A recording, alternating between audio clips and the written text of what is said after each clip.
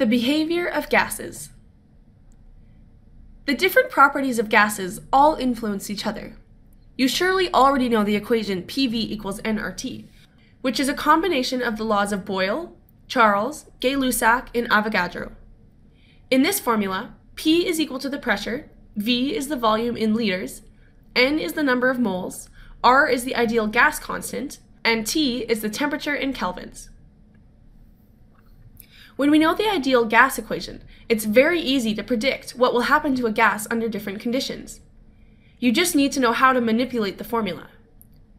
Even without precise data given to us, we can know if the pressure of a gas triples, if the volume is increased or decreased, if the temperature changes, etc. Here, the concept of proportionality is very important. Looking at the equation, we can see that pressure and volume are proportional to the number of moles and to the temperature. If we want to look only at pressure, we can manipulate the formula like this.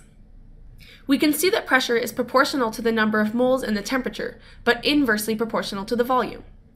In other words, at a constant number of moles and a constant temperature, if we increase the volume, the pressure will decrease.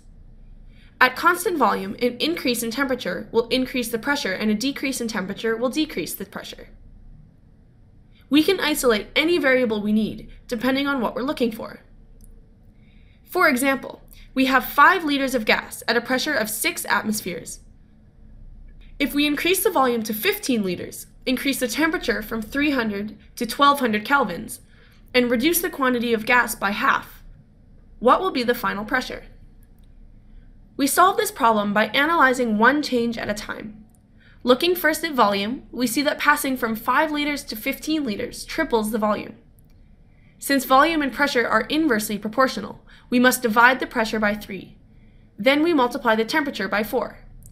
Since temperature and pressure are directly proportional, we do the same to the pressure. The quantity of gas, N, is also directly proportional to the pressure, so we divide the pressure in half to give us a final pressure of 4 atmospheres. Note that since we are working with multiplications and divisions, the order of operations is not important. We start with 2 liters of gas. Since the temperature is proportional to the volume, we must quadruple the 2 liters of gas. The number of moles is also proportional to the volume, so we multiply it by 3. The pressure is inversely proportional to the volume, so we have to divide it by 2, and we get a final answer of 12 liters.